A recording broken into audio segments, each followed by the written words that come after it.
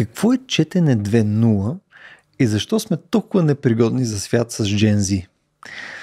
Има ли професионална литература или това са само информативни текстове? Има ли място за литература в науката и съответно в правото? Днес заедно с Стоян Ставро и Петър Горанов проблематизираме съществуването на литературата в нейните различни форми и съответно къде да намерим. Приятно гледане! Здравейте, момчета! В а, този типично български празник Хелоуин днес ще си говорим за литература. Значи искам ти кажа, че ние още като правихме разделението на подкаст Стояне в рамките на, на а, Великата империя на Рацио от да. подкасти, наративи и така нататък. От Чингисхан нататък. Нали, а, тази територия беше освоена първоначално от Васко Лозанов. Нали, той беше шефа на литературата и сега ние рано трансгресираме в а, неговия домен. Така ли се случва? Не. Значи трябва да си припомним кои сме били първите. Васко Лозанов къде почна, нали? Но както и да е, нали, да не завършвам нали, история, която може да се провери. Нали? малко като с газа се случва в момента. Уикипедия го пише даже това. Да. Нали, кой поч... беше пръв. А, но това е така шега. Всъщност ние ще занимаваме с литературата от философска гледна точка. Нали? Не е просто литература, така да Не е проста литература. Mm. И затова сме довели един човек, който ще ни разкаже тази работа. Нали?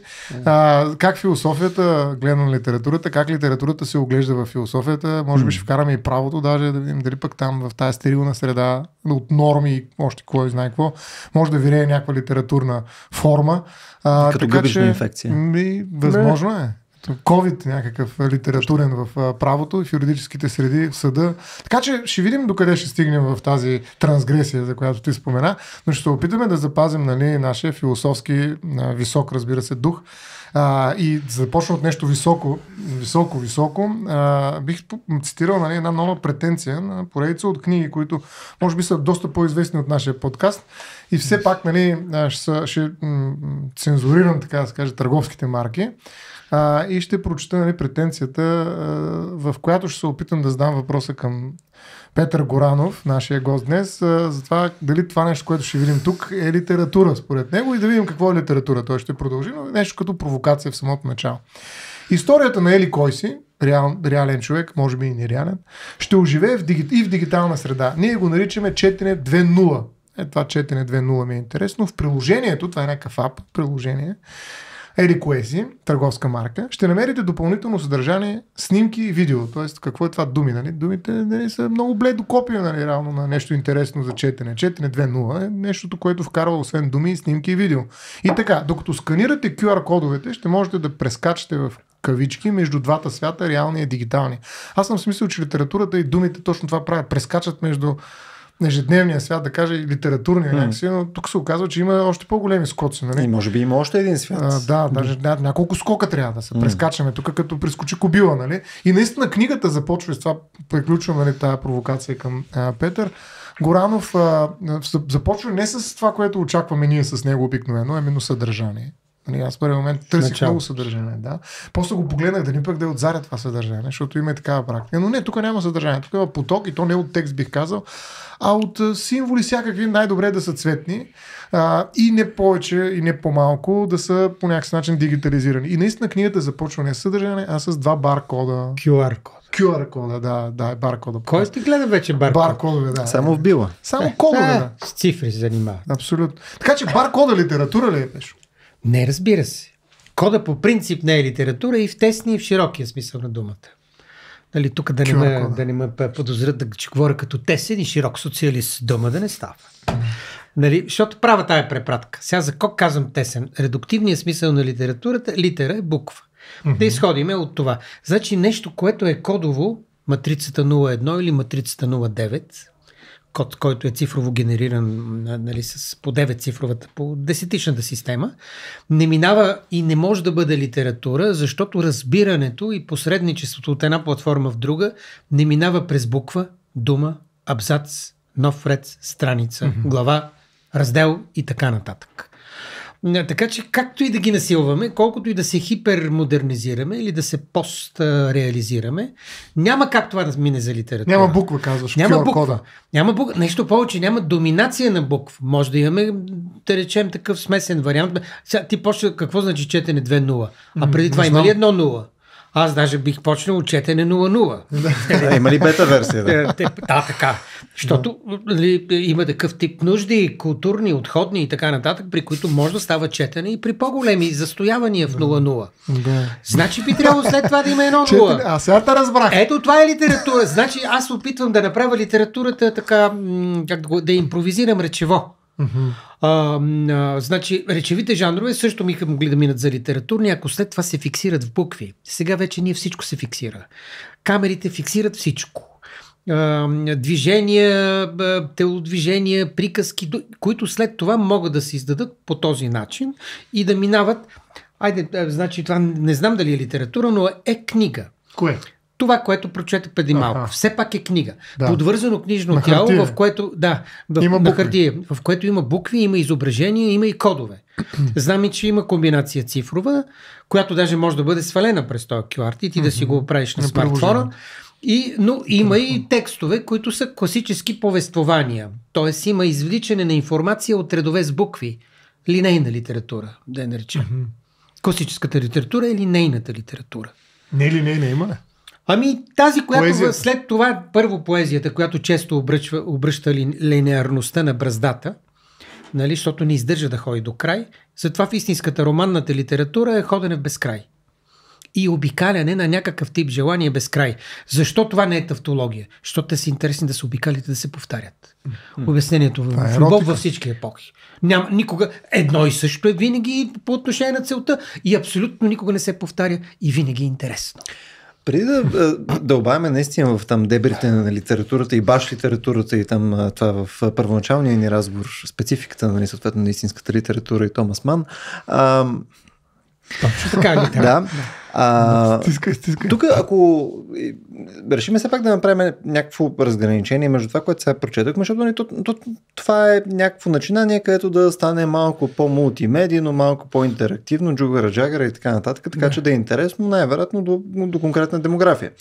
А, а това не е ли буквално също нещо като просто комикс? В смисъл или просто иллюстрирана книга? Нали, просто не е ли и сега вече има и тази Ами иллюстрация да, по може. този начин? Класическата книга, приказките, тя е иллюстриран текст.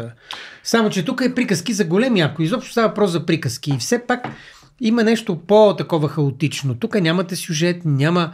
Айде, не говоря класическата литература, има полука, ако не е полука, ще е послание. Има нещо, което остава като, се го наричали апофтегмата. Кратък, свит израз с силно концентрирано съдържание. Тук кое е концентрацията? QR кода е концентрация, да. Това ти е Ама- концентрацията. То проблема на QR кода е, че на практика това не е значиш за мен знак. Този знак не е за мен като читател. Този знак е за моят телефон. За твоето устройство е. Именно. Точно така, не Тук е се комуникират някакви други, как да кажем, медии. Да. Но тук аз бих ви опонирал за кода не секунда, мога нищо да разбера от него. Да, да, то е ясно. То не, не е целта да разбереш от него, но Не е съответно а, на, ролята, която примерно ти играе тук QR кода, по-скоро ти е навигационна. А, нали, по същия начин, по който вие имате съдържание или съответно някаква референция или пълно бележка под линия или Да. нали, примерно имаш някъде някаква референция към отзад, нали, да отидеш и да видиш. като Но бележка. под съдържанието е навигация, определено То- съм то- съгласен. Да. Практически тази роля изпълнява, така че смисъл, аз тук мисля, че критиката в някакъв смисъл не е Не, оправдана. има забележливо, обаче ти трябва, трябва ти смарт, трябва ти платформа, с която да го разчита. Така е, да. Освен тая книга. При литературата аз мога даже и електрическо не ми трябва. Нещо ще светна с някакъв съч, да речем. Трябва ми... А, има една аскеза във всяка литература и във всяка такава литературна ситуация между писане и между четене, особено в четенето. Паисиево хилендарскост, да го наречем. Тоест минимални посредници по платформа. А тук има увеличено число на посредници. А способността на четене не е ли пос- посредничество практически? Ти смисъл, ако на тебе ти дам една книга, ти не можеш да четеш, а, нали, то практически ти имаш нужда да бъдеш опосредстван от това Разбира някой да те се. обучи. Да, така е. И, и това Да. окей, не е смартфон, обаче пак е някакво умение, което придобиваш. Пак е умение, но Филин Фусер, един специалист по кодовете, картините и особено по фотокамерите, философ на комуникацията, той умира 90-те от м, такава катастрофа а, нелепа катастрофа, като Камил, примерно. Както аз затова ги свързвам двамата. Има нещо абсурдно и симпатично с извинение в цялата тая работа. Но той казва, че картините са посредници между човека и света. Значи, естествено, че при тая посредническо, тя затова има образование. Някой трябва да те научи как посредничат. Да, да, Реалистичните, нереалистичните. Mm. И да ти направи история на стиловете. И не само тези картини, ами иконите, които не са авторски. Те посредничат между свят, който не е от, нашата хоризонт, от нашия хоризонт. Той е вертикален, този свят. И накрая, фактически, според него, думите, буквите възникват от там и азбуката, като опит м- така, да се обяснат картините. Първата грама е пиктограмата, а не алфабетната грама, т.е. грама, гръцкото буква. Изпиши сега, значи обясни една картина, един екран, напиши, обиколи я с думи вече ще получиш минимална литература. Хм. А, така че, разбира се, че винаги става въпрос за посредници. Само, че тук става въпрос за, голям, за експанзия. Ето тая е една любима дума на един наш критически теоретик, като Деян Дянов го скоро, на, на серия от посредници, част от които биха могли да бъдат елиминирани. QR закона за мен би могъл да бъде елиминиран. Тоест, тук по-скоро казваме, че това, това е излишно. Им, да. Няма тази по, по любимия а, жаргон нали, на технологията добавена стойност. Нали, тоест, четейки това нещо, според вас няма добавена стоеност. Но това дали е така, защото Ма... имайте предвид, само да, да пробвам да го контекстуализирам, въпреки че нали, ние като класически коментатори нали, не сме чели книгата. А, нали, тук... А... Аз съм почти прочел. Добре. Включая това, QR но, но, но съм е прочел две. С... Четене 2.0. Не Ама с QR кодовете. В QR кодовете не.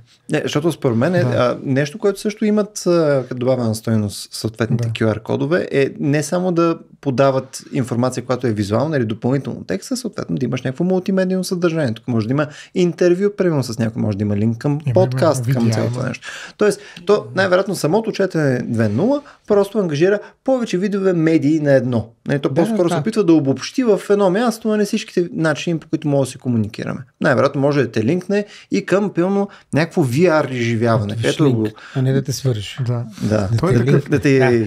Хипер свърже. Хипер свърже. Да, хипер свърже, нали? С някакво а, виртуално изживяване. Пълно слагаш си там очилата и като кликнеш на това нещо и си говориш с Стоян Ставро, може да го е пипнеш. Усилена Добре, но това, което преди още 10 или кога възникна така че мултимедия, още като ни инсталираха домашните компютри, ме пита този моят GP по компютър. Искаш ли мултимедия?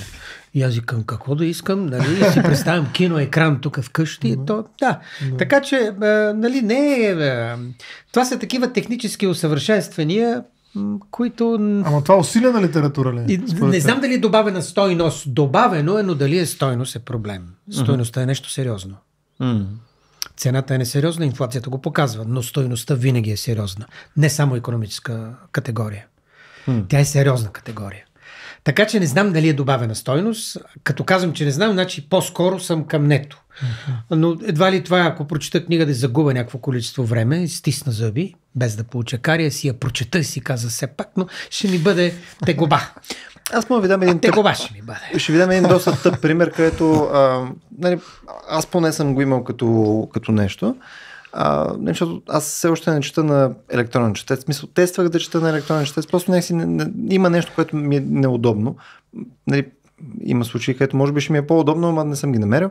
А, обаче при нормалните книги, когато чета особено някаква, айде, незадължително професионална литература, някаква литература, където пък има референции, има неща, които са полезни или пълно цитират някой автор и така нататък. А, много бих предпочел, ако тази книга имаше някакъв начин, по който да ползвам точно някакви шивани линкове.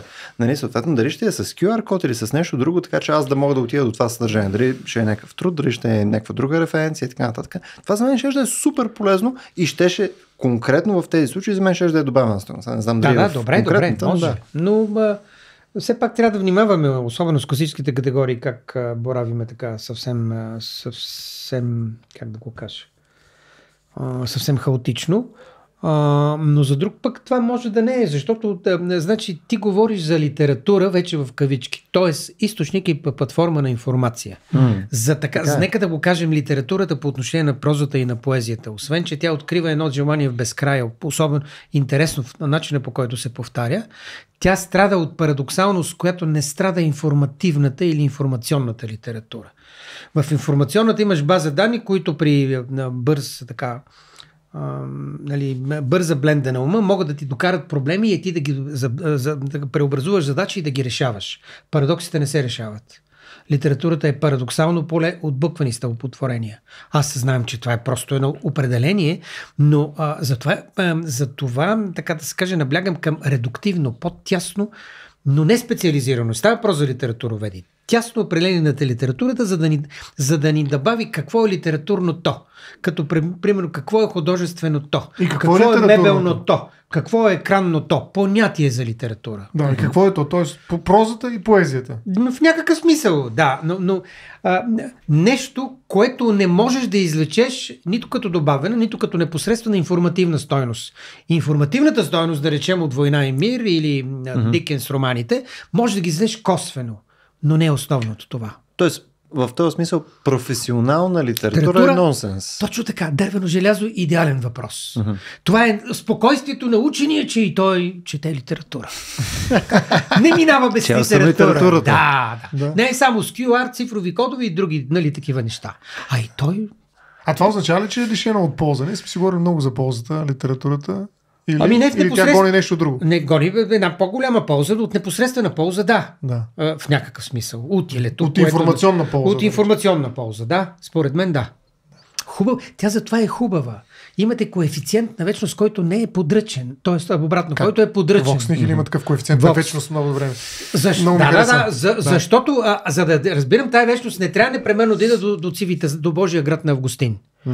А, там имате, така да се каже, концентрирана вечност по отношение на изказа за вечността, наречена. Цивита с Дей. Стълба към небето или Божия град, да се изразим нали, на друг сленг на Джимми Пейдж и така нататък, на Робърт Плант.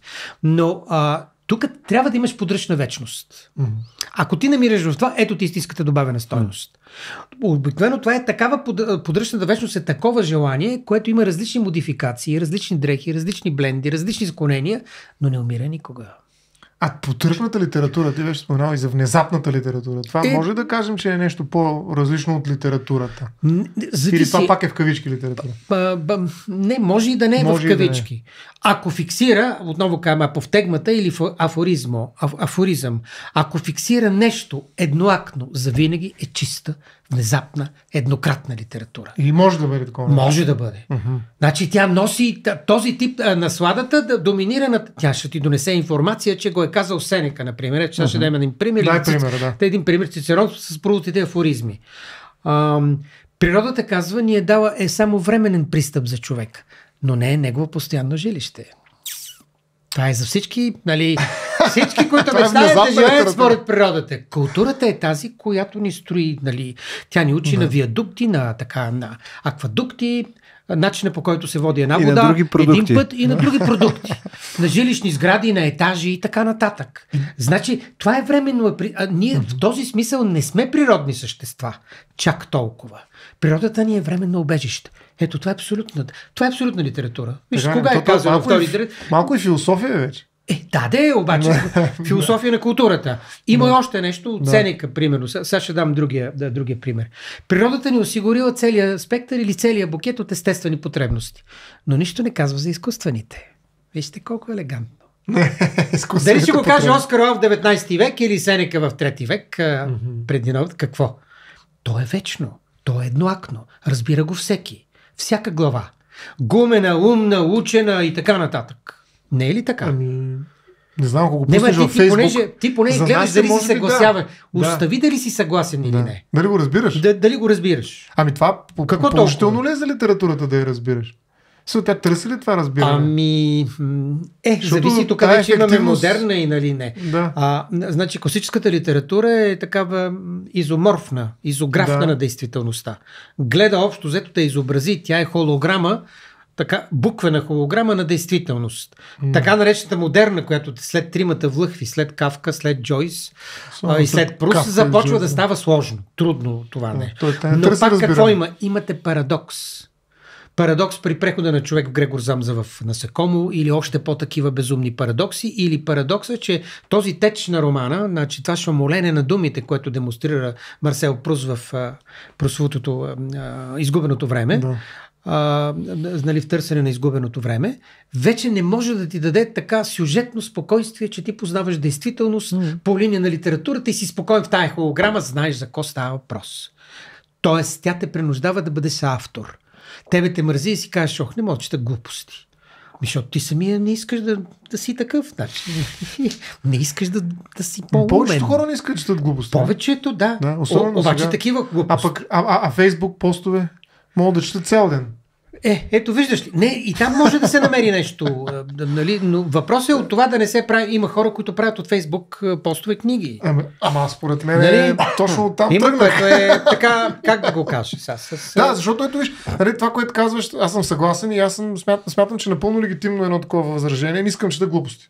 В смисъл, това е абсолютно а, самощадящо, нали, някакси а, принцип на самозащита е това. Неща, че глупости. И едновременно с това, като се замислиш какво четеш цял ден, нали, да. Ти само глупости. Точно така. Нали? От тази гледна точка има някакво такова базисно противоречие в формите на литература, с които се сблъскваме в ежедневието. Ето за това ти е нужда литературата. Значи ти непрекъснато четеш някакви подвижни надписи, някакви е. постове, някакви цени, стоп. Значи до, болка, до безумие. До безумие, клиширани, глупави и тъпи. Да. Глупавото е хубаво, защото мога да го подостриш. Тъпото не може да се остри. То е фиксирано и е това. Край. Значи поне може да бъдем глупави, а не тъпи. Тоест идеята е да не сме тъпи. Mm-hmm. И затова от време на време е хубаво. Това е като ходене в, в голямо междучасие. Или в малко междучасие. Ходенето по литература. Да. Баба ми на времето затова казваше, вижте са, това е миналия век, втората половина, казва прочит на литература. Тоест, онова, което е учебната литература е тая, която трябва да се чете. Това, което не е според онова понятие, което предложих редуктивно, тясно за литература. Там, където са учени, само че написани за, за ученици. Mm-hmm. А прочетната литература е тази, която освобождава времето, въображението с авторството. Кайросна. Да. Тоест тя е смисъл на времето, да го кажем тук за Кайрос. Mm-hmm. Аз само преди да сме скочили много напред, искам да вържа две неща, защото вие се разговорихте доста. Ама, да. а, покрай темата за разбираемостта на една литература, т.е. на някакво произведение, а, в момента, в който някой не разбира нещо, той също може да го идентифицира като нали, това са някакви глупости. Mm, Тоест, да. разбираемостта. Да, но, но, но мисля, че все пак има, има някаква, някаква малко по-различна граница. Защото едно е, прямо да видиш Фейсбук пост с там снимка на котка и така нататък и, и, и някаква, някакъв абсурд. Следно, просто четеш глупости. Друго да е вследствие на разбиране на смисъла на даденото произведение. Или съответно на, на вникване в някаква конкретна естетическа форма, нали, която се описва в това произведение. Mm-hmm. Мисъл и, или, или проче, нали, някаква дълбочина, до която просто ти нямаш достъп поради серия причини. Нямаш образованието или нямаш контекста и така нататък, така че да го достъпиш това нещо. Тоест, кога ние реално мога да кажем, че четем някакви глупости. Мисля, това е изцяло само субективна категория, не?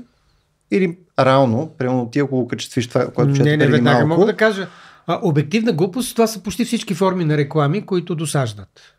Примерно, която реклама казва според мен. То е според всички в света, там пише според мен. Това е тъпо. Ето обективна глупост. Или според нашата фирма. Не е Ланко, не е според вашата фирма. Не според кой? Според всички фирми. Само, че ти го прици... Или това е според народа, според това. Тоест, така да се каже, приватизирането от частно и ние на едно абстрактно, частно аз, на едно абстрактно ние е винаги глупаво. Винаги, почти без изключение. Но забележете, все пак те обаче трябва да са хубави, за да хващат декиш рекламните слогани. Кока-кола цени свободата. Да, примерно. Ето, ние ценим свободата. А, бе, ме, моля, кой ни я цени, бе? Да. Нали, ето, нашата фирма първо залага на свободата. Просто, виж какви глупости. Това са обективни глупости, защото те са и верни. Какво да, какво да кажеш на това? Okay. Нали? Ама това е литература ли? Е буквено написание на нещо, което иска Отговаря да бъде на... аповтегма. Афоризъм. Mm-hmm. Само, че не е афоризъм. Да. То не съдържа ония парадокс, който Той... аз ще го занеса от Цицерон до ден днес. То е труизъм, не? Да. И то изтъркан. Може да се каже, да. Приватизиран туризъм. Да, така че човек може да си представи, че Затова може... можем да говорим за обективни глупости. Мисля, че напълно е възможно. Окей, но в такъв случай ти може да си създадеш буквално цял роман, който е само от обективни глупости, Можеш. който сам по себе си като метапроизведение не е глупост. Е, това вече е особено умение да му да кажат тези, които го правят този Това, това е експеримент. постмодерно вече. Това вече е да, пост свръх мета, хипер. Нали? Да. А, но... А добре, аз е, какво ще отговориш на този въпрос? Не съм провокирал така хората, които обичат литературата, че за мен литературата, примерно да речем, е, в сравнение с философията, за да влезем в това, тая, това сравнение, тази съпоставка, а, ми е много бавна. Речем, а, много време трябва да го посвета, за да прочита до край нещо, което като че ли съм схванал още може би на петата страница, обаче има още 25. И просто не ми се четат. И е, за мен е глупаво нали, да чета още 25, за да разбера също, може би малко да обикалям, както ти Да, казваш, да, около да. този смисъл, но аз мога да го направя сам. Не ми трябва патерицата на някакъв сюжет, герои, описание на дървета, падащи, Писател, какви ли не там, всякакви обекти и проче. Аз го разбирам. Не ми трябва 25 страници. Искам да продължим нататъка. И затова ми трябва твърда литература, т.е. философия, която да ми каже този афоризъм, за която ти казваш, нали, то, ясно, точно и категорично, нали? но просто да ми го формулира в два абзаца и да приключим да вървим нататък. Защо литературата тук трябва да продължим да я четем нали, 25 страници, след като философията Не, бе, може да няма го при нея, няма, трябва, но ти много точно още една ли- диференция, специфика на литературата. Дори когато става въпрос за екзактна, Да. за изкрометна поезия, литературата е изкуството на бав, бавно изкуство. Тя е като слоули, так се кажем пак на български, и за бавно ядене. Значи Слово трябва да имаш едно преживно... На български ми викат преживене. Преживен, да. А, така, Значи а, така. Не, но не, за да усвоиш по по-сладостен начин както месото, така и да. както флората, така и фауната в литературата. Само да речеш съзнателно ядене. А, но, това, но за това трябва да имаш вкус, трябва да имаш, така как да го кажа, усе, трябва да имаш потребност. Айде, в този смисъл. Да преживеш. Ти нямаш тази против... Не, да, да си бавен. Да. Да, значи да, да те изнервя бързостта. А, защото не може да си бърз и внезапен във всичко.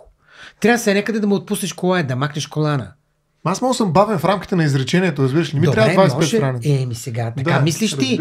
Така мислиш ти. А, Айде прочети тогава така е, е, е, на посредите на изгубеното време. Е, не мога. Ме там ще трябва да че да един абзац достатъчно. От 4 тома по 700 страници. Именно. Защо ще си губиш времето за тая цялата река? Той е океан ли е, река ли е, не може му за... А, па Джойс, Джеймс Джойс да не говорим. Да, там, също да не е, говорим, да, това- да. Защо го четеш? за- Айде, поне Кавка е екзактен от на музея. Там а, не Кавка губиш е чак друго. толкова време. Да. Макар, че в процеса и замъка ще го загубиш. Именно. Нали? Да, именно. Тоест, твоята основна критика ти е покрай това, че няма стойност от допълнителна. Мисъл, за тебе няма За допълнителна да. стойност. Но, но примерно, може да че има естетическа стойност. Мисъл, не е задължително информативна. Тоест, Да, не е нужно всяко нещо. не е информативно. Да. да. Но, но тази Да донесе стоеност бих прочел примерно стихотворение дори. Тоест, някакси колкото по-малко, толкова по-хубаво някакси ми изглежда. Со един том, ма то не е възможно, човек. Аз в момента, до Война и мир да вземем, което съм, Да. а, която не съм сигурен дали съм е чел, защото съм е чел като малък, след това съм чел само определени неща от нея. Но цялата книга тази седна и да я прочета, не мога да спомня такова нещо. Война и мир да съм прочел от началото до края. И аз сега на Каренина съм Нали, чел, виж. Така, начало. това не мога да си го представя, че съм го прочел. И не мога да си представя, че това дъщеря ми ще го прочете. Не мога да си представя, че някой от сегашния свят ще го прочете, разбираш Да. ли? Това просто не мога да си е го представя. проблем, Така е. Не мога да го представя. Па Джеймс Джойс, а, това, а пък това, който ми го каже, че го е чел, сигурно има някои хора, които са учени, нали, които изследват Джейм, нали, И тази литература. Да? да. Литератори, в този Да. смисъл учени. Да, да, нали? професионалния. Тоест, професионалният нали, читател на литература, който е прочел, не, не просто е прочел, той е разделил параграфите, номерирал ги, е, направил хиляда а, у, м, бележки под линия, нали, кое какво е значи, защото там е референции, всякакви, които се объркваш тотално, някой трябва да преведе през този свят, нали, на този поток от нали, в течнен свят. Тоест, а, не мога да се представя, че има хора, които могат да прочитат нали, нещо, което е а, всъщност, съгласен, че има такива хора, но нещо, което е повече от 500 страници. А има, mm-hmm, нали, а, примерно, Хобити, Властелина на пръстените, това съм сигурен, че са го прочели страшно много хора. Или поне така смисъл. Или, Да, това, да, или да. това е някаква поза, всъщност. Какво мислите? Не, не, има ли хора, там има скорост. Между Там другото, тя скорост, самата, Скорост има. въпреки Добре, обема, окей. скоростта е вътре, вътре в това. И затова, му- за разлика от плани, вълшебната планина към 700 страници, айде малко над 500, но тя е умишлено забавена. М. Теорията на умишлено е забавено. Значи забавено е, това е кое, другия коефициент, освен който търсихме подръчна вечност, е ко- коефициент на съзерцание. Значи, за да имаш усещане за съзерцание, трябва така, как да го кажа, трябва да се изцепиш малко, извън времето. Трябва да се цепнеш. А не 4-0, може иначе, да. 4-0-0 има ли нещо Ами, общо? не знам, ти да почва от 2-0, не каза 1-0. Какво е? Yes. Аз затова предпочитах да мина към нулите, нали? Но сега е, друг път. Трябва да се минус 3, не Да. знам това. Кажи, Но какво- трябва да се изцепиш, трябва ми да... Темпорално. да- И темпорално, и дори пространствено. Да се сепнеш и изведнъж кажеш, ох, аз тук ли бях тук. Аха. Значи, преди да го кажеш това нещо, това е мига на съзерцанието. Този миг може да бъде разтеглен. Той има вътрешна душа, която вътрешно се 500 разтяга. Да, да, да, 500 или една минута, както ще ти е един час. А, няма отговор на този въпрос. Отговор е лесен. Да, нито дъщеряци, нито други дъщери и синове сигурно няма да го прочитат. А това, това Но не, е- това е документ. Какво да правим сега? Да. не е ли свързано 481 с... по Фаренхайм. Всички над 500 да се горят. Рейд Бредвери. Разделят се на две. Ставро Разделят се на две. И става се, продължение, както има Рамбо 1, Рамбо 2, Рамбо 3. Точно така. А, да. аз тук по-скоро може би едно наблюдение, което не знам дали, дали споделяте, е, че просто е въпрос на също и на, на какви хапки е дадена Да, книга. ето. Наистина на е, това, което ти каза, че някои неща наистина се четат много по-лесно, ами те наистина, ако са си с по-кратки изречения, повече някаква пряка реч, нали, няма някакви такива. Не, в момента, в който изречението ми е две страници, Да, разбирам. Начинанието е по-различно. Ако четеш а, дори някаква полупрофесионална там литература, нали, за какво си говорихме? Даниел Денет, примерно. Нали, Даниел Денет е извинява, ама той има изречения, които са му по 4 страници. Ето Но някакъв... той няма коефициент на подръчна вечност. подръчна Той е вечност, само да. информация. Да. Да. Той е текущ, той е ликвиден. Течне на модерност. Доста французи пишат по същия начин. Да, Да, Смисъл, имаш, да. имаш точно този а, уклон да трябва да, да си държиш всичко в главата, с което си започнал, за да можеш да го осмислиш. Иначе, иначе ти забравяш къде си започнал. Особено ако не внимаваш, представяш, четеш това в градския транспорт и по някое време някой те блъска си такъв, почвам от начало. То е Да, някакъв абсурд. да. Огромна хапка. Макар, че все повече с тези пиндели или с а, в градския транспорт гледам и с електронни книги. Ето това е някаква Пиндели форма. на Kindle? Пи- На Kindle, Kindle да пика пиндел, да. Kindle. Да, много е. Да, е- хубаво грешно. Да, Kindle. много. А, то било Kindle, аз така му викам, нали, леко пренебрежително, явно без да знам, несъзнателно. Пежовци и пиндели. Да, именно. Да. Е, Но това е другия начин, особено с дефицита на хартията и минаването в екрана и в плексигласа, но ние това те първа вече го виждаме и по всяка вероятност книгата ще стане както по време на Гутенберг. Една книга, едно жилище. Толкова луксозно. Една подвърз... Едно подвързано книжно тяло, искам да кажа. Тук малко... А... Но избързваме в проблематиката. Но това не е, не говориме тук вече за литература. Литературата може да има и такъв носител. Кинделов. Пинделов. айде. Пинделов да го кажа. Само малко спонтанна статистика. Знам, че се тук специално заради статистиката. Да, да. Чакай се запишем, да записваме. А, и това, сега, а, ако аз съм честен, не съм проверил конкретно от миналата година, но до миналата година всъщност това, което се наблюдаваше, защото имаше един много а, дълъг период, в който, когато се появиха електронните четци, Да. нали, особено по Хайп. И не само хайп, и то просто имаше и удобство, имаше и съответно, беше опосредствено от по-низки цени, съответно за електронни книги и така нататък. И съответно достъпността до, до такъв тип книги се увеличи и хора купуваха по-малко такива и ти го виждаш. Да, обаче Мисля, в сега, големи пазари. И преди особено в България. А, ето в България по никое време не са имали първия ефект. Да. А защото нямахме същата Много достъпност книги. до електронни книги. Но като погледнеш големи пазари, като Англия или Штати и така нататък, виждаш, че махалото се завъртя на другата страна и съответно всъщност продажбите на книги, на физически книги отново се завърнаха, изядаха пазарен дял. Нали, естествено, защото капитализъм. Нали, изядоха пазарен дял и сега в момента а, отново книгите, книгите си растат. Което е хубаво, да. Ама да, това са някакви антикниги, според мен. Как нали има такова античетене, антибиблиотеки нали, и прочее, нали, човек ги купува, но не ги чете. Навъпреки. Ами не, просто ги купува, защото за някаква форма на, на еротика, на, на разопаковане на книгата. Нали, отворише на Ема другото, дефлорация го, нали, на друг, литература. другото също го има. Даже и повече. Имам база данни от цялото Library Journal, от LibGen. Да. Имам а, 10 хиляди и какво? Се издава, И ги се, чета. се издава и слушат на Не, прокурори. не, не. П- Примерно и, и ги четеш. Добре, сваляш, сваляш от мрежата книги. Добре, добре. Не е ли същото? Еми, Сваляш да има. Точно така. Сваляш да има. Ама поне- Тук купуваш да разопаковаш Ама- и да изслагаш гръбчето на Да. секцията. Ама, виж, едното изяжда пазарен дял, както ти каза, нали? Еми- А другото е само, нали, дрънкат бомбонки и камъчета в джоба. Тоест, тук има пазар, нали? Тоест, това са утилитарите. Също дърпат и парите си, консуматор, потребител, който си плаща за тази работа. Има огромен пазар наистина на книги, които не се четат. Ето, нали, Да, това е парадокс. а, учителите, Васко, нали, Мгм. Васил Лозанов, който е на Интералия е водещия, нали, той това казва, учениците ми не четат. И въпреки това са супер интелигентни, нали, даже нали, добавя той. Нали, супер интелигентни, той знаят много неща. Нали, той се очудва как е възможно това нещо, без да четат книги. Но си купуват книги най-вероятно хората. Купуваме си страшно много книги, а кога точно четем, при условие, че през цяло време четем постове във Фейсбук. Да, Тоест, то нали, някакси- време. Имаш някаква висока литература нали, в къщи, докато четеш е, ниско преведен над а, Фейсбук постовете цял ден. Нали? Не само Фейсбук, но и всякакви други неща. Тоест, какво е това нещо? Това, може ли да кажем, че е стойностно? Нали, има ли добавена стойност една книга, която съм добавил просто в библиотеката си?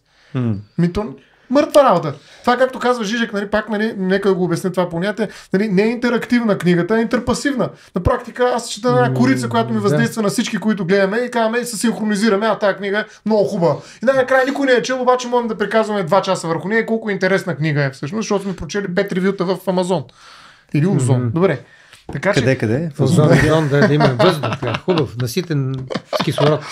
А, Добре, в смисъл, а, тук тъй като малко за- зачекахме темата за форматите, а, добре, в такъв случай, ако формата не е нещо, което четеш, а е изцяло само аудио книга. Мисля, Да. тогава това остава ли със същия смисъл литература? В смисъл, теоретично съдържанието пак ти е там, просто някой ти го да, разказва. и това е вече, значи, през, а, имаш друга перцепция към това.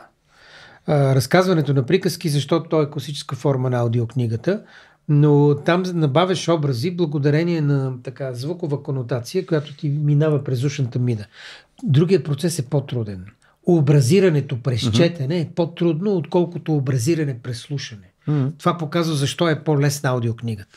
Но когато става въпрос за тежки, да, за така да тежка твърда литература, критика на чистия разум или фенология на духа на Хегел, иди, че слушай аудио. М. Нали? да, абсолютно. Не, че не мога. Може да ме един месец да посветиш от живота си на фенология на духа аудио. Знаеш, и бе, има, има едно още много важно, Да, че да. докато слушаш книгата, има едно сетиво, което е много по-силно от слуха. И това е зрението. И обикновено то пречи. Нали, вярно, че изглежда по-лесно нали, да слушаш Точно книга и да така нататък, да. но ако е по-кратко. Нали, затова казвам Да, месец. да, Защото да. просто трябва да се завържа очите. Ако аз непрекъснато гледам, сега пресичам нали, на светофара и слушам аудиокнига и тя наистина е сериозна, т.е. има коефициент на всеки дневна на подръчна Е. а, вечност и така нататък, това е абсурд. Нали, смисъл, както ти каза, аз и, трябва ми време, за да мина през това изречение, пре, нали, през целия му път, целия себе си да Е, да пренеса. внимавам, да. Не мога да го пренеса себе си. Нали, ако аз очите ми непрекъснато ми дават информация, която трябва да се образя. Но мисля, че е още по-лошо, когато говорим за, за някаква проза, защото когато четеш, нали, ти, ти точно си об- образуваш някакви... Представяш си, че героят ти е по конкретен начин, че той е на конкретно място. Нали? Ти когато си потънал просто в книгата, тези образи просто сами по себе си излизат. Ако ти пресичаш междувременно и отиваш да си хванеш а, 280 студентски град, нали, то просто... Примерно, аз, аз съм го тествал това нещо. Единствено нещо, което мога да слушам са новини и подкасти. М. Нали, не Да, мога да това слушам можеш. неща, които М. ми формират образи. Ама не съм примерно аз ако стоя в леглото и да слушам, то защо просто не чета? Не? То някакси... Не, не, освен това, виж, за, за четенето си изисква някакъв пас, да, да направиш пас върху времето. Трябва да си изпишеш малко. Това дето казахме, Да леко си да изпишеш. Докато, докато, се докато, да си изцепиш, докато като пресичаш, изцепиш. Напротив, там не трябва да се изцепваш, защото ще те изцепат. нали, ако пресечеш лошо. Някоя кола ще ти мине през крака. А, в този смисъл, а, то е по, как да го кажа, четенето е по, както и писането, литературното писане, то е тотален, тоталитарен процес. И изисква пълно отдаване и пълно подчинение Мгм. в някакъв смисъл. Но затова то не, че к- като казва за дъщеря ми и, ти, и за другите дъщери, няма значение и синове. Въпросът е да се подготвят, че има и такива неща в света, до които те може да не се докоснат. Ама кой ще се докосне човек? Е, нека да знае, Да, че има сложности, пак, да. литературни Колкото- масиви и други, които Защото- не са просто база данни и платформи. Ми днес сме според мен повече автори, отколкото м, четящи. Не, какво беше там? Не, чук, чук, Чук, че е писател, чук, че не е читател. Да. Ама това нещо Да. наистина е Ма това стана масово. При... Между другото, при нас с поезията така се получи. И поезията, много свестни поети. така. Ма е такъв, так, такъв букет, То- такава заря от поезия. Да. А, за последните 10, проблема- 15, 20 години. Просто Проблема не е да намериш поетина. Да. Проблема е да намериш хора, които четат поезия. Да, поезия, точно То така. Това е интересното. Аз даже бих А не представяне на поетически книги. Всеки 10 минути в ефир може да се представи една поетическа книга. И, и трябва да представя читателя на поезия. Мен ще ми е интересно да Да, отида при някакво събитие. Ето, аз съм читател на поезия. И 40 И почваме поета. Да говорим. 40 поети. да. да, да четат пред него поне, някой да ги слуша. Но- Тоест, нали, обръща се, нали, А тази... това са временни бумове, според мен. Не знам, имаше, но да. Да. Авторите Но- стават, всъщност, че слушателя, читателя се оказва по-важен от автора. Но В някаква степен. има Жерар Женет, един теоретик на дискурса и на литературата френски. А, значи за него всичко и историческото познание и философията за мен също са деривати на литература. А, Понеже да, да говорихме сега с философията нали, философия и литература. Философията е частен случай. Синтезиран, концентриран, парадоксален, високо спекулативен случай на литература. А нещо липсва. Не ли на цифра, не на математика. Да. Макар, че има философия на математика и на Грюмбаум философия на пространството, но за да е философия, то трябва по някакъв начин литературно да те, да те форматира. Тоест, има философия, която... Има ли философия, която не е литература? Не мисля. Значи не, не би трябвало Значи да не е е философия. философия. Не е философия. Например, от големите учени, този, който минава, айде не минава, но може да бъде четен като сума, кратка сума от вечната литература в света, това е Einstein с двете обща и специална теория на относителността. И това е философия. И литература. Мгм. И в някакъв смисъл и, и три, разбира се, и наука. Но тя е разбираема, увлекателна и става за винаги. Forever young. Това е хубаво. Както на Марк Аврели а, към себе си. Към всяко себе си. Твоето себе си, в бара на себе си, каквото и да мислиш за себе си, това е ето от 2 век преди новата ера до 21. Evergreen. Ever, да. Да. Но аз нарочно, ето аз и примерите ми бяха такива. Сенека и Цицерон, Марк Аврели и нали, Монтен забравихме да дадем като пример, когато ти не си много Е. не си много възхитен от него. Що? Не, че да възхитен, но ето там вечността се стеля под формата на някакви есета. Някои Да. са по-дълги, някои по-малки. Но то е останало като клише до ден днешен. Е, как? Колко ще правите, ще пишем есе. Да. Даже Като скоро, жанр аз понеже два, два чакай да минем малко към спорта. Два спорта никога не би гледал и винаги ме интересува се чуда как хората не плащат билет, как ходят с краката си до там или с очите си до Кои телевизора. Това е американски футбол, тия дето са трапецовидните и ръгби. Никога не мога да разбера ръгането. Те са Как, близки, какво нали, правят? Да, какво? Освен това не искам да разбера. Но там за първи път чух. Не искам. И това би било за мен затворническа килия да ме накарат, нали, чрез гледане да освобода себе си от затвора през гледане на ръгби. Не знам кое ще избера. Аз съм така с истинския футбол. Сериозно? Е, Не чак мога. пак толкова. Не- Еми, не мога. може, да. Защо отвлякохте разговора сега? Не, иска, защо? Заради Монтен. А, Там имаше едно Монтен. есе на линия еди какво си. Викам, боже, ръгбистите, те са монтанисти, изглежда. Има име нарушение есе, опит. Той е през френското есе. Раз, както е фаул, както е тъч, както дуспа. И това, ми, и това леко ме за- завида колко пъти ще се появи есето. Няколко пъти в един матч. Нали? Не съм гледал целия А, матч, ти- но понеже аз обичам дефанзивни офанзивни есета. За мен това е оперант, който работи винаги. Те са, това ми е будно, така, Значи буден не- ключ. Не пишете сета, а правете Правете сет. Викам, е, гаси. Опит. Е, викам, какво А нещо. произвеждат ли есета? Еми не знае, той е опит явно за хвърляне произвежда. То Със сигурност не, не, не тези, каквито ги провежда Монтен. Добре, де, се. това е все пак разликата между философия. Ако е вид литература, значи тя трябва да е специфицирана към е, този род. специфицирана. Какво значи е сложна, парадоксална и проблемното Философия. поле на този тип литература, значи отново идваме до някакъв тип а, аристократизъм. Първо не е за всеки. А, не, не само не е интересна, не е за, за разбиране от всеки. И второ, държи връзка с така наречена трансценденция, без да, е, без да е теология.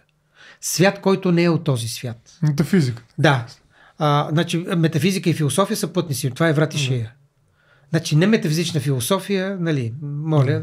Има така. Много биолози. Има, ма, ма, като не, Саполски, не, да речем, прави такава философия. много част от аналитичната философия, но тя е философия в големи, малки, средни и всякакви други кавички. Да. Много кавички и скоби. А, така.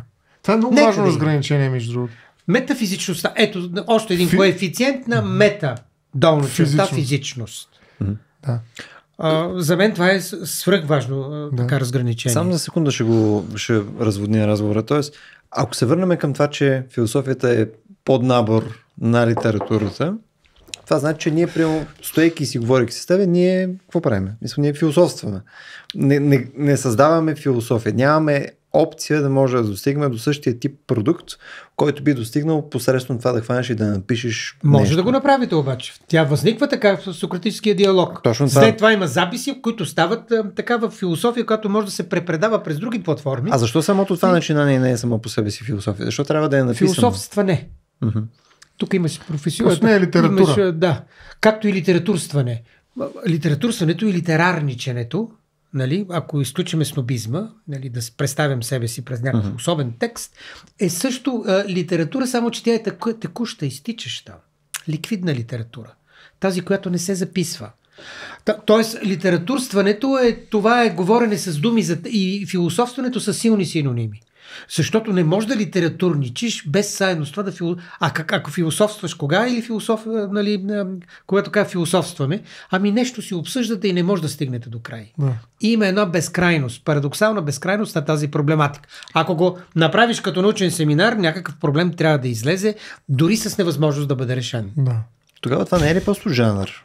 В смисъл, Може, по начина, да. по който ние го описваме, ние стоиме и пивам философстваме. Може да се каже. Следствие да. на това нещо, то бива записано и бива по-жанр на литературата философия. Нали, като отидеш в една книжарница, нали, то това ще видиш. Ето философия, ето там нон-фикшн и така нататък. По да. същия начин. Биография и еди Точно аз ако ти разкажа сега една история, обаче след това напишене, то, то ще стане някаква проза, нали, съответно, която е записана. Да, да ще, ще има такъв литературен крайен. Но пак ние, понеже нали, уж отидохме за понятие за философия и понятие за литература, за това въведохме да. коефициентите. Не за друг. Я ги обобщи пак. Трите коефициента. Коефициент на подръчна вечност, коефициент на метафизичност и коефициент на... Какво беше другото? А, видя ли се? Втория коефициент. А, докато го мислиш, аз искам малко да кажа на коефициента за метафизичност, защото нали, във всяка една литература има някаква форма на нереалност. Нали? Смисъл, това е нещо, Fiction, което превключване. Да, да. Това е да. щупване, това е изцепването. Нали, да се изцепи реалността, нали, за да влезеш в някаква друга а, сфера и това е причината да е тоталитарна, както каза да. Петър. А, нали, защото просто ти си, ти си ангажиран с а, тази литература. Коефициент на постоянство. Сега се сетих. На постоянство. А, коефициентът на метафизичност обаче при философията като литература а, ми е много важен да го покажа, защо, защо не може да се прави философия от точните науки. Нали, или защо това, което правят те като философия, наричайки го философия, всъщност е философия в кавички или е друг тип философия, който не е литература, тя е информационна. Да, има след 1900 какво става? Открито е Макс Планк. Става така, че физиката става литература и философия. Квантовата физика вече не е физика. Да, Имате коефициент е, това е литература. Мета. И има коефициент. Ти не можеш да, не можеш да хванеш, не можеш да хванеш реалността. Да. Физик mm-hmm. ще ти каже как така вълна или това. Кажи ми, корпускула ли или е вълна? И какво ще ти каже Шродингер? Да. Че самите атоми са вълнови пакети. Е, това вече е литература. Това е литература. Да. Съгласен съм. Тоест, единствено, квантовата наука е литература. Цялата останала наука, която се опитва да прави философия, прави философия, която не е литература. Това искам да кажа, защото не можеш да обясниш някакъв философски проблем, като тръгнеш от невроните и ги подредиш. Да, да, нали. Ако тръгнеш от квантите, които не знаеш какви са, тогава можеш да направиш някаква литература, която и да е философия. Но ако тръгнеш нали, от биология и да кажеш, обясня свободната воля, нали, това не е философия в този смисъл с този коефициент на метафизичност. това, ето както и етиката, ако я мислиме като под, подопечна философията или под жанр mm-hmm. на, на жанр философия, литературния, широк и литературен жанр философия, а, ако тръгне от допамина и от неговата химическа формула и стигне до щастие и теория за щастието. Ми смешно е. Ами ако... Смешно е, нали, от допамина да извеждам щастието. Да. Не, то не е смешно, но не е нито философско. връзка с свободата на волята. Да, или тогава Айде. още по-високо. Айде, щастието е нещо, нали, нещо а, ще го усета с непцето. Ако се опитаме малко пък да го малко да го обобщим, в смисъл не казваме ли, че в такъв случай ние не можем да изхождаме за философия вследствие на наблюдение, вследствие на физическия свят, вследствие на нещо, което реално виждаме и мога да посочиме с пръст. Защото ако, ако казваме това нещо, мисля, че все пак по този начин дискредитираме някакво количество философия, което е на база на неща, които виждаме. Не, не, можем, но, а, но Защото това е там нататък все пак трябва да направиш някаква друга връзка, повече трябва. от хиперхоризонтална, да, идеята ми е, че а, просто критикувам а, това, че в момента, в който даваме примери, които са някаква форма на редукционизъм, нали, или, да, или да, по-скоро, да, нали, е. като имаме най-дребното и то трудно може да хванем да го екстраполираме за някакви по-висок нали, на някакво по-високо ниво процеси, нали, да говорим за социалното през контекста на физиката, започва да е нонсенс.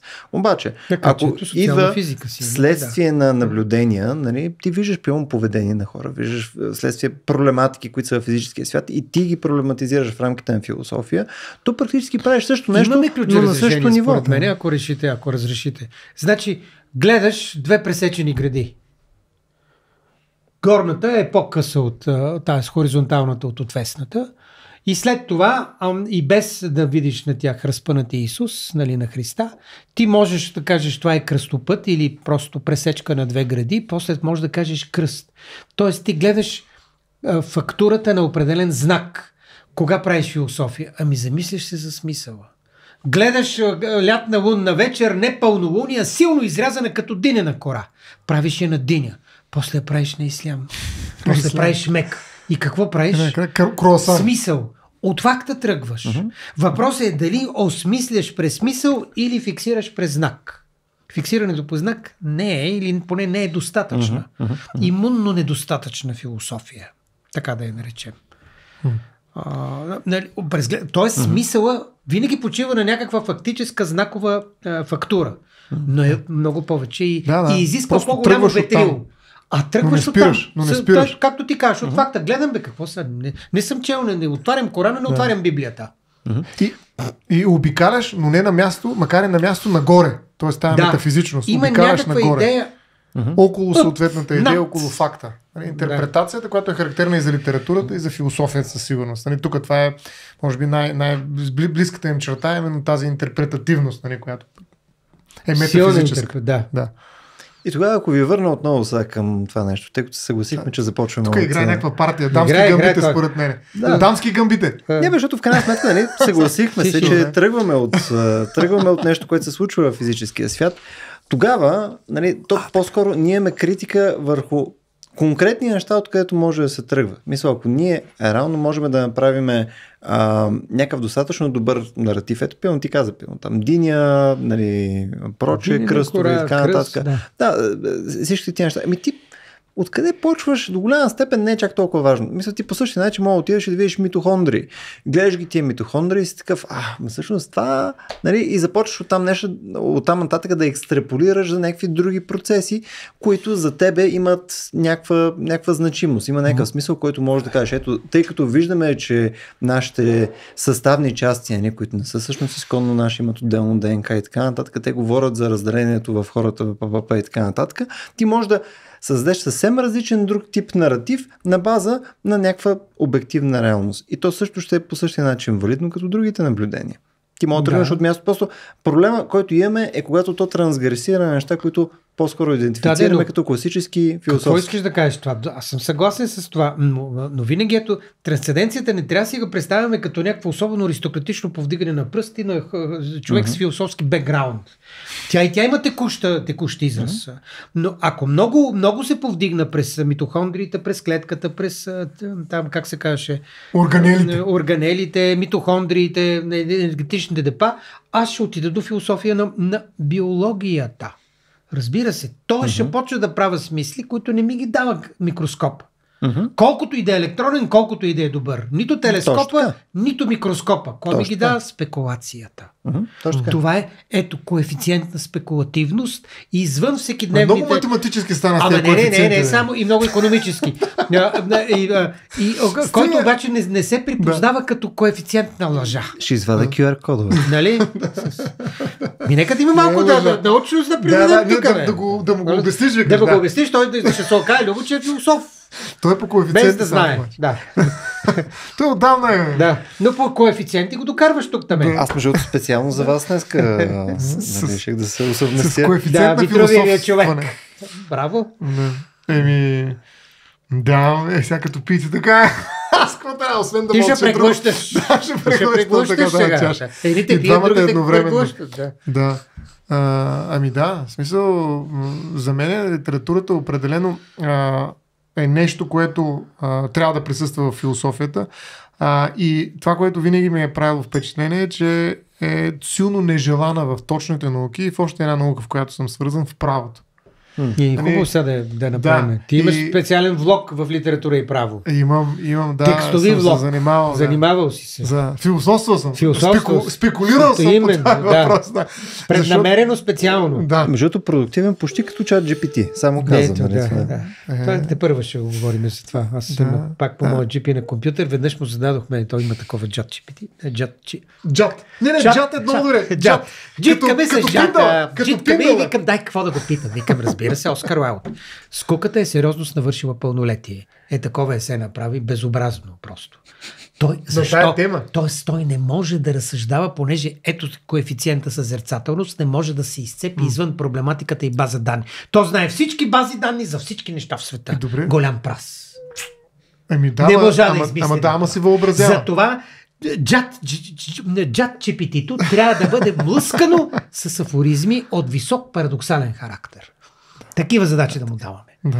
А не колко са професорите в тази, в тази област там, да речем. Е, добре. Колко еди какво си Той или да не е направиш... добър факти, да, ухото и, ухото и зрението. Ама той много халюцинира. халюцинира. Тоест, на халюцинациите на, на това нещо, на този голям езиков модел, на Да. практика не е литература. За, за факти в интерес на истината е много зле. Чат GPT Да. не е Е, място, където да изличаш факти. Щом изкуствите, н- н- макар че Не, не, не, няма ли достатъчно... Не, въобразява си, примерно, книги, неща, които А, някои си измислят. Може да го хванеш в... да. Да, и то много често. В смисъл, и, и, тв- и, е много убедителен. Той ги казва с такава сигурност, каза, да, бе, Ето коефициента на Да. подръчна Да, да, вечност. вечност. В Има, има литературност в чат. GPT, според мен. Има го това нещо. Наистина. И то такава а, не просто е екстравагантна, ми понякога направо нали, гранично с лудостта, която лудост е нещо хубаво, налудничава, да, литературност има в чат GPT, което между другото е много характерно според мен за литературата. Налудничавостта в литературата е особен, как да кажа, компонент. Да, да, и в някакъв смисъл Много даже задължителен. Да. Нещо налудно трябва да има. Именно. Иначе що ще пишеш? И, и за това в някои области налуден. литературата не е добре дошла. Нали, както си говорихме Мгм. вече, не мога в физиката, освен квантовата, да говориш за котки, които и хем ги има, хем ги хем ги няма. няма, да. Смисъл, това е абсурдно. Каква е тази литература? нали, тук. Както и в правото, не мога да имат а, тълкователно решение с особено мнение. Нали, смисъл, събрали са, решили са, че е така и някой има особено мнение. Какво ти е това особено мнение? Защо особено мнение? Това е хубаво, да. Да, то е хубаво Ама ето. Дюрен Мат върху това, твоята Да. любима новела Авария, върху това експериментира. Само, че там все пак е литература.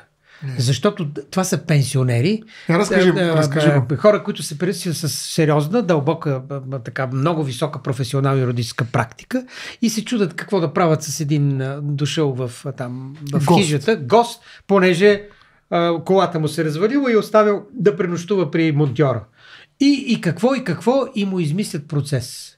До такава степен, че вменената, изобретената вина, той толкова я приема вътрешно, че се обесва сутринта. Като там има съдия, прокурор, адвокат. а, Адвокат, всички страни на И през цялото време ядат. Здраво Да. тъпчат. Да. И това е много така, Брутално. така че за това е хубаво. е А, аз, а, вижте сега, значи а, юрист е проза, само че как да кажа, не литературна проза. А, обикновена, юридическа, законосъобразна, дълбоката проза на света. И трябва да остане такова нещо. Значи това е, за- затова между другото експанзията на юриста, особено в края на миналия и началото на век, на юридическия субект, както и на финансовия, е изключително опасна. Те са, ние сме си говорили състояние по друг. Те са структура на услуга. Добрият юрист е кетеринг. Той не произвежда, той не произвежда ястия. Той не прави идеологии. Той се въздържа. Той просто е регулировчик и нищо друго. Само да е посмял да бъде нещо друго. И затова той трябва да изпитва за всяко друго нещо. Експериментиране с въображение, с Не, вина, с не. конституцион да изпитва вина. Същото и с финансиста. Какви продукти? Абе, Аланко, какви продукти? Ти просто непрекъснато променяш едни платформи в други и ги наричаш продукти. Продукт е ако този микрофон вземе една друга форма с по-ефтина цена и аз предпочита нея със същите качества. Но той излиза като, разбираш, посредническата структура. Ето това е хипермодерността, отвратителността на хипермодерността. Посредника измества крайните, така, а, крайните термини на производителя и консуматора. Юриста и финансиста. Оказва се, че едните много бъд, могат да бъдат конституционалисти и политически идеолози, а другите незаменими а, а, такива а, шефове на финанси. И то не ли зависи и къде, защото юриста в, поне в а, европейско проче право няма опция да бъде конституционалист. Мисля, не е по същия начин като в Штатите. Не, мисля, там... не, не, в англосаксонското юриста е изключителен. Е, в Конституционния съд са основно юристи, да не кажа. Да. Всички са юристи, задължително, даже с специален опит и постижения. Добри, т.е. доказани юристи би трябвало да бъдат в Конституционния съд, да речем, mm-hmm. който. Не, аз по-скоро минавах през да. това, нали, че практиката, нали, която нали, е важна част в Штатите, не е нещо, което е при нас. Тоест, начина по който Важно. ти можеш да излезеш от граници. Да. И тук е важно. Да, няма съдебен активизъм. Нали, тоест, да, нали, тук да. кетеринга е по силно изразен. Нали? Тоест, не става въпрос за хора, които ги избират, нали? защото федерални съдии в САЩ се избират. Нали? Те са буквално политическа длъжност, някаква степен, някаква степен и оттам те имат правото и да бъдат активни в упражняването на своята съдийска професия по политически начин. Тоест, те биха могли да, да бъдат активисти. Съди, активисти, съдебен активизъм. В България това е абсурдно. Нали? Смисъл, българската е съдебна е система е независима. Да. Да, защото нищо не зависи от нея. Но въпросът е, че тя нали, се държи в а, точно рамките на този кетеринг, за който каза Петър. Пешо. Да не мисля, аз съм много, много а, съм благодарен за тази думичка, че изкара. Обаче искам да го да подам въпроса всъщност да продължение. На кой е този кетеринг? Кой обслужва? Кой, кой е производителя на храдата? Коя е фермерската, така как да кажа, семейната ферма? Универсалният универсалния кетеринг обра, не, а, обработва всяка една храна за всеки един консуматор. А откъде идва храната? Кой ще я даде? Защото ти казваш, що не трябва да се намества в готвенето, грубо казвам. Ами, значи философа и идеолога. Този, който занимава се си идеи. Добре. Само идеолог. Да. Идеолога, значи той отговаря за меню и за съставките в менюто. Да. Ма, мастер шефа. шефа. Да, фигурата на идеолога, то, то затова Жижик има още едно пък, понеже споменахме тук Жижик. Да неясния обект на идеологията, мисля, така се казваше. Перифраза на филма на Бунюел. казва, една идеология може да бъде критикувана, изместена или поправена само чрез друга идеология. Тоест, това е, това е заблудата, че науката ни защитава от идеология. Да. Научната идеология е опасна идеология. Тя е тоталитарна по отношение на единствената число на истината. А, между... Идеологията, това е хубаво, че тя клони към множествено число. Тоест, там имаш ветрило от възможности. Да. Ветрило от идеи, от ей до си, от контури, от картинки но не можеш да изведеш. До, нали, науката е тази, която опитва това ветрило да го редуцира до истината. Тук само един коментар, за да не влезем в това нещо. И това, което пък наблюдаваме е, че изглежда, че всъщност идеологите могат да си взаимодействат с науката и то доста ефективно да. в момента. Да. А, просто го отбелязвам като нещо, което е любопитно. Да, и сама по себе си науката може да е форма на идеология, макар че имам серия скептис покрай това нещо, но по-големия ефект, който виждаме в момента е, че имаш идеологически формирана наука. Дори нямам преди толкова политически идеологически задължително, но в рамките на. Да, в по да, в рамките нали, на конкретни направления в науката пак имаш идеологии, mm-hmm. което е много интересно, което е и не е очаквано само по себе си. Не знам, поне за мен не е очаквано. Ама интересно, виждаш ли къде е продукцията на тези идеологии? В философията. Това е да. е идеалната да, държава, да, да. да му се Точно така, да, така е. Най-добрата държава. Тоест, някакси, това е също някаква форма на а, литературна интелигентност, която е на, на, на, на по-високо ниво, защото и, литера, и при литературата има тази, е, това усещане за за това, че не е за всеки. Нали, всеки за всеки mm-hmm. може да чете, но не е всеки да я прави. Нали, литература, Точно защото така, иначе да. то няма литература вече. Нали?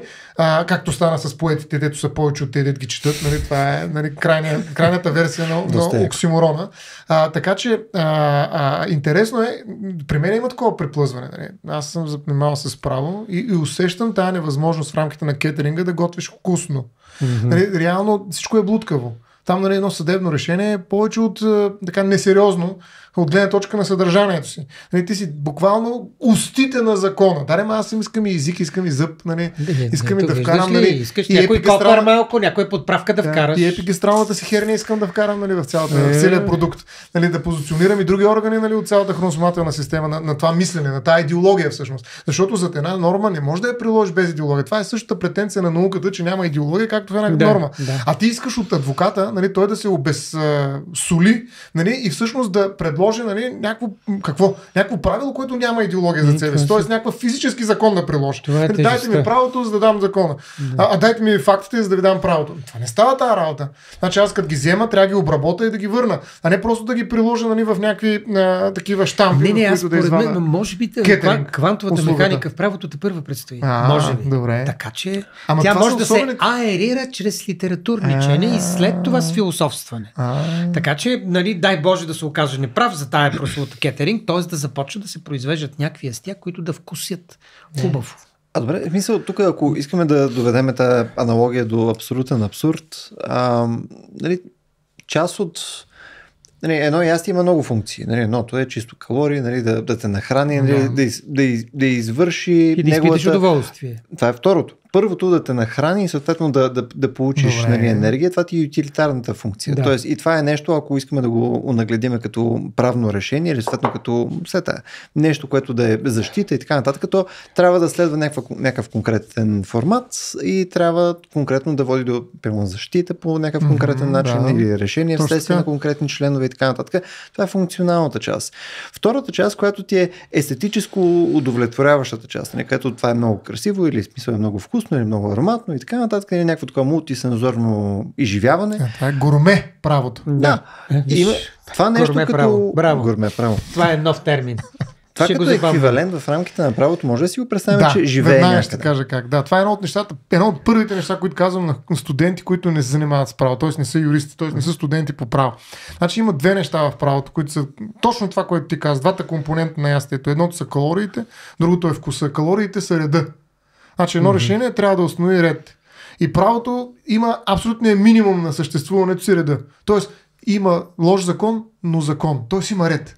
Да. Радвайте се, точно че така. реда е жив. Има ред, разбираш ли, има калории. Вкарвам вътре опрена енергийна стойност на съдебното решение и произвеждам ред. В смисъл, лошо, не лошо, няма значение, има ред. Знам, че ако пресеча на червено, глобата е 50. Ма аз съм пресекал, защото искаш да спаса да не блъсна някой. Не ме интересува, има ред. Детска количка. Да, да. да, да. Нали, калорийния прием го има. Значи, всяко съдебно решение mm-hmm. наистина трябва да отговаря на определени изисквания за калоричност. Нали? Тоест, това не е да калорийност. Това е абсолютният минимум. Нали, тук правото е нали, кетеринг. И има една част, която виждаш вече почва да интерферира с философията наистина и тя е за справедливия ред. Значи хубаво, че има ред, но трябва да има и справедливост. За добрия, справедливия. Да, добро, да, добрия, да, но, добро, но нека да е най-тежката дума, защото никой не знае от юристите и от философите да, какво е справедливост. Нали, само учените знаят. Да, добре, окей, само те ред занимават свободната воля. А, невролозите а, и невробиолози, айде, че да са малко по-комплексни в а, експертизата си. А, та, а, а, нали, тази справедливост и особено чувство за справедливост, айде да го оставим към психоаналитиците, но справедливостта е една много тежка, много по-различна претенция. Не, това е вкуса на, на, на съдебното решение. Нали, не просто да, да има калории, ами и като го ям, да чета, защото това вече става литература. Ето тук е този литературен пласт, нали? Да казвам е, евала на този съдя. Значи е, така се прави. Това е справедливото. Да, да тук има ред, ама този ред е пипнат. Нали, някой му слова подправки, една от най-важните от тях нали, не е къри, ами е справедливост. Нали, ето това, което ти каза и го mm. разграничи. Това е първото нещо, което казвам. Нали, реда е много важно, правото е преди всичко ред. Не може да обвиниш на право, че не е справедливо. Mm. Може да обвиниш политиката, която го е, политиците, които са го създали, че не са го направили да, справедливо. Да. Но правото не можеш да го обвиниш, че е несправедливо. Нали, ако тръгнеш за разговора, в разговора за правото да вкараш справедливост, това вече е философия. Да, да, да. Съгласен съм, направо. Да, да, съгласен съм. Е, ако тук само, само за секунда да, да да коментирам. Мисъл, т.е. не може ли да си представим все пак вариант, в който а, нали, то е, има някакво решение, което не е законосъобразно. В този смисъл, когато не е законосъобразно, не е ли тогава не е справедливо? Не, не, то е незаконосъобразно.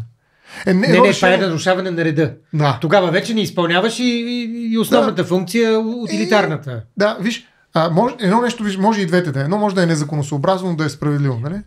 Може. Присъл, да, това е възможно. закона, но, но, но е, е така е правилно и ще си поемем последиците. Да. да речем, хубаво, голяма работа, ама аз пък смятам, че така трябва да постъпи. Аз и това даже другата... смятам, че е базисно право. Да, нали, да наруша закона, да. защото не смятам, че е справедлив, е базисно право, никакви технологии не трябва да не го отнемат. Аз съм занимаван така наречената нормативна интелигентност на средата, т.е. Не, не трябва да има в колата колани, които да не ми позволяват да карам без колан. Нали, да. Такава кола е много силно право. Довиждане. Това е само ред. Това е право оголено до, единствено до ред. Нали? So, това е много опасно право. Но, тоест, може да е незаконосъобразно и справедливо. И обратно, може да е законосъобразно, обаче да е несправедливо. Mm-hmm. Нали, всичко е спазано перфектно, да. обаче всички не сме доволни с това. И ако ние можем да, да, го, да го наберем това нещо и да го да разберем и да говорим за него, това означава, че правовата държава, така наречена, има шанс. И нали, Кристиан Таков нали, беше известен в България, е, светла му памет, с едно изречение, което не е, не е от сега, не е от него, но той много добре го вкара в гражданство, активност, оборот и така нататък. И това е пазете закона, т.е. извинявай, пазете правото от закона. Нали, това е част от тази диалектика на, на ред справедливост. Нали. нали защото закона не е правото. И това е ето една метафизичност, един коефициент на метафизичност, mm, който превръща така, е, закона, е, съм закона да. в литература. Да. Нали, защото има да. право, което е закон литература и закон, който си е чиста информация, нали, някаква нормативност. А добре, в смисъл и, и за последно. нали, тази гурме част от гурме цялото право. нещо, нали, това, което може да добавя нали, дали ще е някаква идеология, дали ще е някакъв просто хубавата българска дума флейвър, нали, някакъв вкус към цялото нещо, някакъв флер, нали, т.е. нещо, което да е, може би, не само а, идеология или просто някакво естетическо удовлетворение от четене на това нещо. Мисля, някой се е подписал практически в а, дадено решение и така нататък с себе си, като mm. да го добавя това нещо. Има ли вариант това нещо всъщност да отнеме от основното има, нещо. Има. Това е едно от най-опасно. Значи, това е вече съвръщаме това, което каза Педа. Това е най-важно. Добрия юрист, добрия, не хубавия. Да, добрия, добрия. Добрия юрист не може да си го позволи това нещо. Той, той трябва да произвежда само законосъобразни, нали, а, такива буламачи, така грубо казано, от литературна гледна точка, mm-hmm. нали, като в студентски стол. Да, нали, да, смисъл, да, да. храната трябва да е стандартна да, и еднаква. Малеби, Дали ще взема... и калорична. Да. Отвратително, но калорична. Точно така. Може да е първата, десетата да взема, тя е една и съща. Няма значение да. кога да, ще да. се нареда на опашката, взимаме едно и също mm. и ям едно и също. Това е доброто право. Това е правото, което очакваме всички. И затова то трябва да е освободено от всякаква субективност. Нали? Това са хора машини, морални машини, едва ли не кога mm-hmm. изкуственият интелект. Yeah. сме ги измислили. Съдиите. Нали? И, и, те нямат право на литературност. Нали? Те просто им е забранена литературата. Нали? Mm. И, и за това трябва да произвеждат. Нали? Това е идеала. Но този идеал, разбира се, за един философски настроен юрист е дъното, извинявай. Нали, mm-hmm. Това е причината, поради която аз занимавам в момента с философия, не с право. Нали. Не, не, не само, това забележи. И но... юридическите текстове, те са безсубектни. Да. Образцовия, там не какво да, там да е пишеш. Да, значи да, да се санаграма да кажеш Пепи, Пешо или Стоянчо. Какъв Стоянчо си ми ти, бе? Как, как Стоянчо ще пише да, съдебното решение? Пише го даже не Стоян, не от пише на го народа са... на народ. Пише го това. Това е коефициент на трансцендентност. Особено, значи тук задоволството е това, че ти правиш абсолютен текст, който при това не е автора безавторен. Да. Ти си Божията ръка. Почти. почти. Или иконописец, който не е Рембрандт и който не рисува портрети, а рисува него. Само, че няма да изслушаш закона. закона с главно за. Да. Това е друг тип удоволствие. Перверзия. Как да го кажа? Да, друг тип еякулация. Без извинение. Нали? Да. Но... Но това казвам, че нали, това е трудно наистина. В смисъл, не трябва да се разбира нали, тази, аз наричам добра субективност. Това, тая непоносимост към, нали, към безвкусния буламач на иначе законосообразното решение в много юристи. Нали, в САЩ това нещо са го направили възможно. Нали, там наистина а, има малко по-различно позициониране на тази фигура, а, но в, а, англос, а, в а, континенталната, нали, характерна за европейския, а, европейския континент, а, правна система, имаме много голям проблем с това, това самозадържане. Нали? Това буквално на арестуване на, на, на субекта в рамките да. на съдийската професия. Нали? Ти не му позволяваш да бъде... А, и затова с едно изключение. И, и затова нали, наистина то, трудно. И това изключение са тези особени мнения, за които споменах. Аз много ги харесвам. И съм правил този анализ на особените мнения колко особени мнения има, примерно, в практика на Върховния касационен съд, къде се появяват, какво е, какво е бъдещето на тази литература, скрита вътре в една иначе нормативна изрядна, структура, да, да изрядна, подредена, подредена в линии текстова структура. Нали, така че тези седем, им, представете си в Европейския съюз, а, когато се взимат решения примерно, на съда на Европейския съюз, там е забранено да имаш особено мнение. Или в някои случаи просто не трябва да има особено мнение. Просто съда не може да има особено мнение. Къде е съд? Нали, закон да, е да, да, особено мнение закона. Нали, пресича на червено, ама може и да не пресичаш. Какъв е този закон? Ако не можеш да да кажеш кога не можеш. Кога не можеш? Да, трябва да кажеш, но това е друго правило. Не е проблем да извадиш от едно правило изключение и да го вкараш като правило. Това просто е поредното правило. Да, нали, да, да, да, се навързват едно след друго. Да. Но ако кажеш, пресича, не пресича на червено, ама може и да пресичаш без да конкретизираш правило, без да произведеш втора, нали, втори ред правило. Нали, това вече е литература. Това, нали, ами, той беше пиян, но не беше съвсем пиян. Нали, смисъл, това е, не можеш да го напишеш като, като текст, който е нормативен. Нали. Mm. Така че, по същия начин, съдебното решение, което трябва да така сведе, това е откровение, не случайно тази метафизичност, тази трансцендентност нали, има и в правото на съдята е този, който това, те, това са апостолите на закон. Да, да, те да, трябва да, да. Го, да го сведат надолу, да го снемат, това откровение. И те не могат да кажат, Абе, Исус Христос е човек, ама може и да не е човек. Е, богочовешка Нали, природа. нали, така, той трябва да каже. е. Три, три. Може да е един гълъб. Да. Трябва да е едно. Трябва да има канон.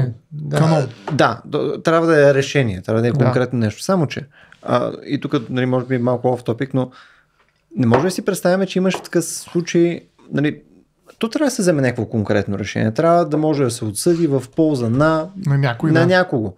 А, но ти може да си представиш, мисля, че е относително лесно, може да си представим случаи, в които нещата са на кантар и, и съответно нали, има интереси, които са в конфликт и съответно трябва да е едното или другото и просто няма опция да не е едното или другото. И в този случай нали, този нюанс ти пак трябва да отсъдиш, но този нюанс е полезен за контекст на хората, които ще оценят това решение. Тогава не е ли мястото на подобни особени мнения, точно за да Само създадат някакво спокойствие? даваме на Пешо да каже какво мисли по този въпрос, защото ще ми е интересно да го чуя а, и, и него. А, за мен има добра субективност и не можем да предпазим съдята от неговата човешкост и не трябва.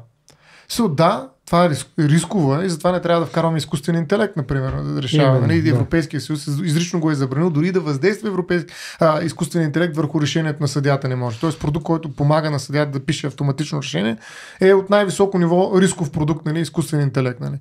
А, тоест а, имаме една такава добра субективност в а, човека съдия, която според мен трябва да бъде развивана. Тя е опасна е, много опасна, защото може много веднага да стане в предразсъдък, а, а, нали, да вземе страна и всякакви други неща и тя може да, се, нали, да, да е злокачествена, освен доброкачествена, зависи, нали, трябва да, да вземем нали, проба и да видим. А, и това става с втората Биопсия. биопсия да, за да, да, биопсия на субективността на съдята. Това прави Това е въззивната хубаво. жалба. Да, да. Въззивната жалба това прави. Да види другите нагоре и там идват трима. В България, нали, първата е обикновено един човек, горе отиват трима. Нали, сблъскваме повече субективности, да видим нали, този микс. Нали, дали ще е по-добър и какво ще стане, дали ще стигнем до същия резултат и прочее. Така че за мен а, тази вътрешна склонност на човека да литературства и да философства, Литературни. м, да литературничи, да, нали, просто съдийската тога не може да я убие до край. И не трябва. Не трябва да вземе такива Значи тоги. по-важно е дали не трябва. Да, съгласен съм, но особено за съдията. Хайде за другите, те са литературни филми. Айде, да. Представи си адвокат. Е. Всички красиви филми за адвокати, ма те са речеви, литературни, да. ретори, то просто е... Да, нали, оратори, да. Няма никакво значение. Нормата има някаква норма, разбира се, но всичко е изведено напред. А, докато ето съдята е тази тиха, скрита, апофатична литература и философия. Абсолютно дискретна, но тя трябва, ако има някакъв влог в тази добрата субектност и субективност на съдята, то е в чувството и усещане за справедливост. Mm-hmm. Не само знанието. На Роуз или пета книга на Аристотеловата Никомахова етика. А, тоест, справедливостта е винаги нещо, което обягва и субективността е това, е, което е, така да се каже, Събира. което, което е събира в някакъв вид заграждение. Mm. Загражденията на една добра субективност. Да, си пожелаем такива съдии, обаче. Да. Да. Обаче, наистина е много опасно. Откъде стигнахме, много е опасно. докъде Еми тръгнахме, да, това е литературата. да. Защото Да. това е наистина едно място, което пак казваме негостоприемно за литература. Значи, ако отидеш и почнеш да проблематизираш една норма, ти какво правиш? Ти Да, да, саботираш не правото. А всъщност литературата точно това прави. Нали, тя саботира, обикаля около една нама обикаляне. Нормата е Не, не, много саботира праволинейна обикновената реч, инфраструктура. обикновения живот, тя саботира да. реалността, добрата да. литература. Да. Робън Якобсон има едно много хубаво литературата, това е насилие върху, организирано насилие върху обикновената реч. Писателя се учи да бъде организиран насилник. Хм. Ако иска да бъде добър писател, добре ще организира насилието. И какво право тук говорим, нали? А, така че си Не прав. може. Да, в случая си прав. Е, е, е. Рядко, но все пак стане, има обединих. да си прав. Да. Това мисля, че... Да. Чак да се обединим, че си прав, нали? Не, се че в много малко случаи, но все пак много. сте прав. Много Нали, в малко, много малко. Е, това ти казвам, които те първа бих установил. Склонен съм да се случи. Емпирично още не си Да, видял да, така. би го изследвал, би го изследвал, би го обследвал даже. Добре. Пешо, ще кажеш, ли- искаш ли нещо, което пропуснахме за литературата? Също Пет, Пет, Петър Горанов се занимава много сериозно и нали ще излезе скоро това нещо, което очакваме Ами, да, всички? За е литература и философия. Погледи в страни, да, и такива имам поне вече две-три големи есета. Дефанзивни Да. или офанзивни сет. Е, Май са офанзивни. Това път вече Той влиза са офанзивни. Обръзна ми дефанса. Ама след нищо особено сега стъпки в страни или какво каза? Крачки Да. в страни. Да, Сега па страни погледи в страни. Погледи, погледи. Страни, но не, па, нищото особено, то ще бъде нищо особено в два тома. Да. Напред към залеза и назад към изгреве втория том. Няма 6-5. Да, е като излезе. Добре, Да. да. първия излезе. Нали така? Или ти сега Не, втори ново? още това е ново стане с изток. Ти, хиляда, а, ново Е, издание, да. ново издание, да. Ново хубаво, издание значи, като с излезеш, такова, ще, но ще и изчакваме. с, искам да, да. ще, ще го раз... Но критикуваме. така е. Ще разобличим, ти ще се признаеш за виновен. Разбира се. Но- да. И, а да се обаче няма да се обесвам. Много литературно ще стане, да, ще играем де факто по свирката на, кажи, на Дьорен Мат. Да. Айде да си свири свирките сам. Не, може да има и пушка на стената, нали? Да, да, споразумеш, да. ако гръмне предпочиташ. изведнъж. Да. Добре, момчета, достигнахме ли края на литературата? Майко, Финалния абзац. Ми, добре. Мисля, че да. ами за сега, на, на па- паузата на литературата. Много, стига. като ска, много работи не казахме, но това, което казахме, си заслужаваше. така да свършим. Абе, скромни сме. Е. Петре, благодаря ти, благодаря ти, че отново ни беше на гости. Винаги е удоволствие да има някой с когото да изпие по-на малко уиски по време на подкаста. Това просто е страшно удовлетворение, особено в 11 часа. А, във вторник. който Хелуин. е никое Пълен време. ужас. Преди, Хелуин. преди събуждането на будителите утре Да. сутринта. Сега, О, да. По-тихо да не ги събудим. Да, Ами, сега а, спим.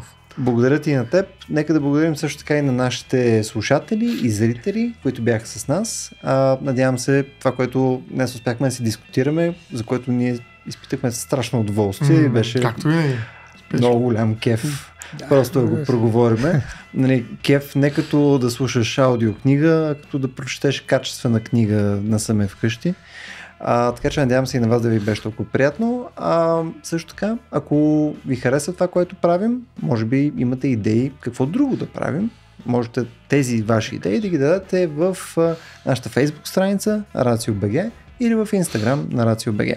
Ако пък използвате имейл клиент, можете да ни пишете на info.racio.bg също така. А пък ако решите да ни подкрепите по някакъв тежко капиталистически долнопробен начин, можете да го направите на racio.bg наклона черта support.